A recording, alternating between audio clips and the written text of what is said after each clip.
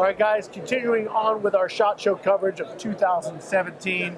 I'm here with our friends at Predator International. Nick, always a pleasure, my friend. We just keep getting older but better looking, you know?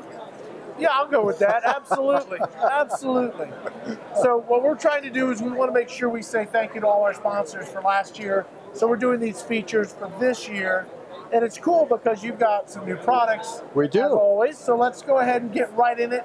And we're going to talk about the new 35 cal poly mag.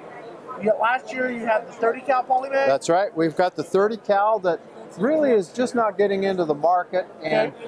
the 35 is, is brand new for us. We're just introducing it at the SHOT Show. cool. Uh, it's, it's, it's been terrific. As you can see, it's an 81.01 grain. Okay. Uh, the results that we've, we've gotten back from testing have been phenomenal. So we're really proud of this. Let me see that real quick. You can see that there, guys. These are some massive pellets, really designed strictly for your hunting application. I don't know that I want to play with these That's right. so much, but when you need to bring lethality to the game, this is what will do it. The polymags are devastating on small game. Now, we've got something that can be very, very effective on predator size, size animal, and maybe see us dumping that energy without getting so many pass-throughs. Absolutely. And that's what this is about. That mushrooms out to pancake size practically. Very, very, very good stuff. All Yeah. right, and that's not all we're going to talk about. We are going to change position here. We're going to go to the other side of the booth. Guys, stay with us. We'll be right back. So we've switched sides. We've moved to the other side of the booth, and we want to talk about your GTO pellets. Absolutely. Now you're holding the original 177, right? A wad cutter style 177 used for 10 meter, Right. usually for youth competition, and it's really proven to do well. And the reason you did that is because lead has this stigma about it, and a lot of schools were just canceling the programs because they didn't want their children shooting with lead.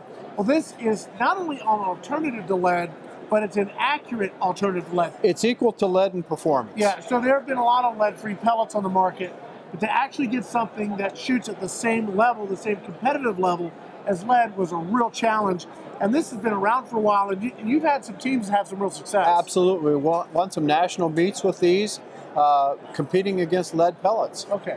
All right. So now what you've done is you've really stepped that up. You've gone from the 10 meter and gone into the hunting arena. Absolutely, yeah. And so what we've got here are a couple examples. we've got our 22 and our 25 caliber. Okay. And I've actually already done a bit of hunting with Yes, you these, have. and I know for certainty not only are they accurate, they're accurate at range. So before maybe a lead-free pellet was good to 20, 25 yards, I'm getting 50 yard accuracy out of both the 22 and the 25. Absolutely, yeah. And that's kind of a game changer. More and more places are requiring lead free, or maybe there's zones where you'd like to go hunt and they're lead free only. There's a place in Havasu that's just like that. We talked about that. Uh, you know, last year on the show on our buyer's guide, these lead free pellets. If you want to go hunt in those types of environmental places, you got to go lead free.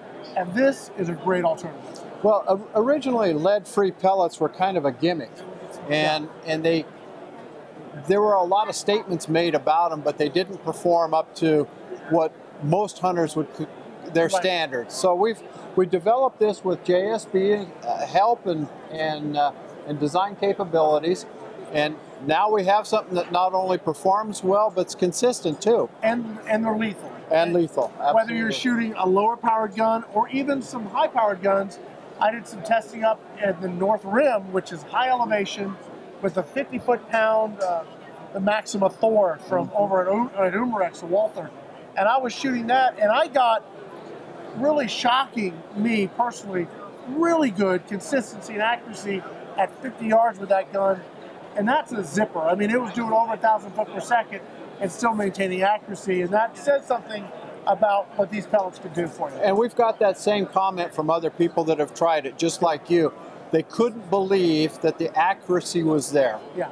So we're, we're proud of it. All right. Well, that's it right now for this year, right? Hey, we'll see you next year, 2018. All right, guys. 2018. I, I, he heard him say he's already committed to 2018. That's right. That's great. That's right. For now, this is Rick Eutsler with Airgun Web and Airgun Web TV. Thanks for watching.